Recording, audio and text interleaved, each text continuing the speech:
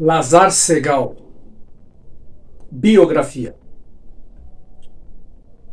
Lazar Segal, filho de uma família judaica, nasceu em 1891 em Vilna, na Lituânia, que na época fazia parte do território russo. Foi aí que deu início à sua carreira de artista, aprendendo escultura e gravura. Em 1906, mudou-se para a Alemanha, onde estudou na Academia de Belas Artes de Berlim. E foi na Alemanha que realizou suas primeiras exposições e ganhou seus primeiros prêmios. Aos poucos foi se tornando expressionista.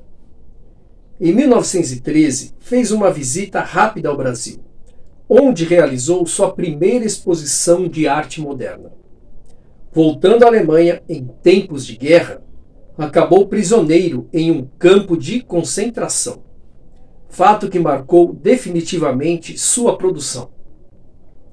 Muitos dos seus trabalhos foram destruídos nesse período.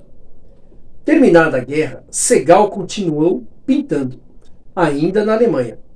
Seus temas prediletos eram camponeses, mendigos, indigentes, autorretratos, temas judaicos, lembranças de sua terra natal, crianças, velhos, retratos. Seus desenhos eram angulosos, fortes. As cores pesadas, cruas. O corpo humano deformado, na busca da representação da dor, do drama, do sofrimento. Esses temas voltariam a estar presentes em sua obra mais tarde, principalmente no álbum Visões de Guerra, sequência trágica de pinturas terrivelmente marcadas pelo horror da outra guerra que se seguiria, da qual também sofreu as consequências. Em 1923, aos 32 anos, Segal voltou ao Brasil, desta vez definitivamente, naturalizando-se brasileiro. Aqui se casou com Geni Clabin, seus temas em terras brasileiras eram as mulatas com crianças ao colo, marinheiros, prostitutas, favelas, plantas tropicais, bananeiras. Expôs em Berlim, Dresden, Stuttgart, Rio de Janeiro, São Paulo e Paris. Realizou também esculturas em gesso, pedra e madeira.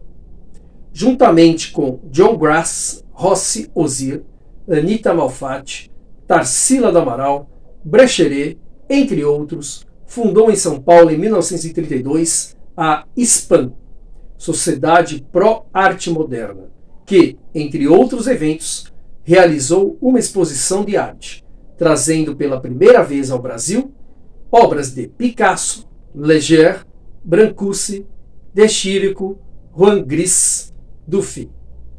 Por volta de 1935, realizou uma série de pinturas em Campos do Jordão, inspiradas na natureza, e os retratos de Lucy, únicos momentos líricos e de calma em sua produção, que, em 1944, volta aos temas da prostituição, com a série Mangue e Erradias. Sua última série, Florestas, é interrompida pela sua morte em 1957.